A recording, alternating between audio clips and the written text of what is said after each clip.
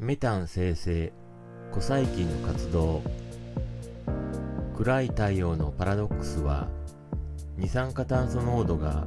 時間的に低下してきたと考えることによって完全に解決したと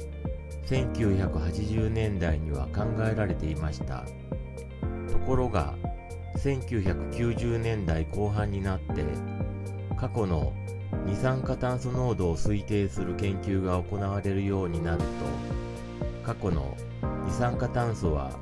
理論的に指定された濃度よりも優位に低いらしいことが分かってきました。それでは地球は凍ってしまうことになり振り出しに戻ってしまいます。炭素循環の仕組みも解明されたというのにどうしてなのでしょうか？実は大気の温室効果は二酸化炭素以外でも説明できる可能性があります。その中で最も可能性が高いと考えられるのはメタンによる温室効果です。二酸化炭素の温室効果では足りない分はメタンの温室効果によって補われていたのではないかというわけです。メタンは二酸化炭素の20倍以上と言われる強い温室効果を持っている気体でメタン生成古細菌メタン菌という微生物によって生成されています。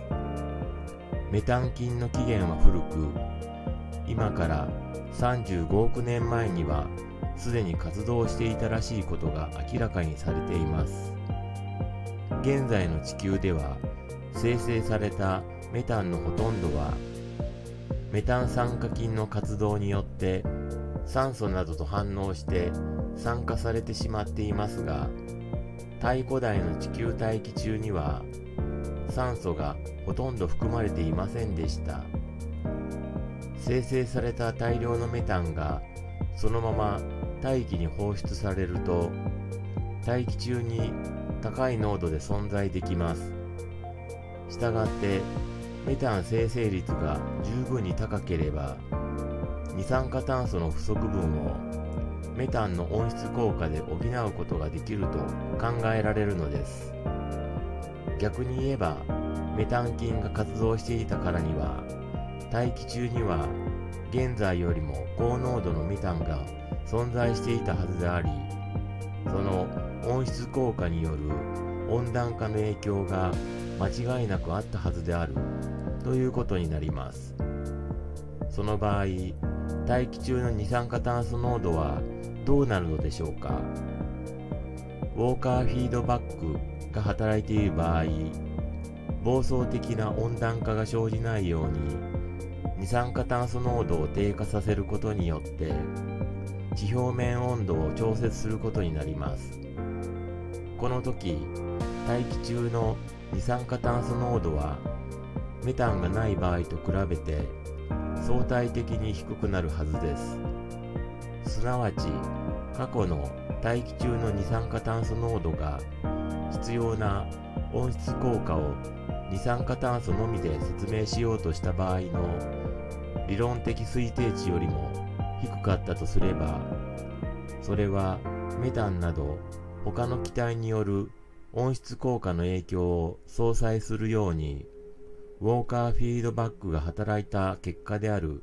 と理解することができます。炭素循環によるウォーカーフィードバックの存在は地球環境を安定化させる基本的なメカニズムとして常に働いているのであって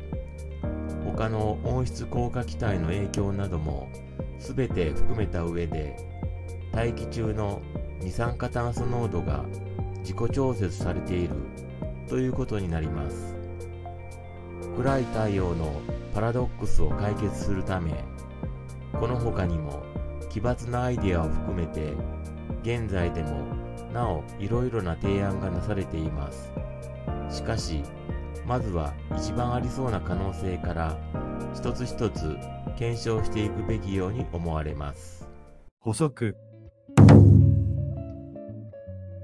メタン菌とは、天気条件でメタンを合成する古細菌の総称である。起源は古いと推測される。35億年前の地層から生物由来と思われるメタンが発見されている。メタン生成菌より構成されるのは、メタノバクテリウム項、メタノコックス項、メタノミクロビウム項、メタノピュルス項の4項である。2013年には、テルモプラズマ港の中にメタン生成を行うものが発見された。いずれも有利コ細菌である。よろしければ、チャンネル登録と高評価をいただけると励みになります。以上、4代目ケンケンでした。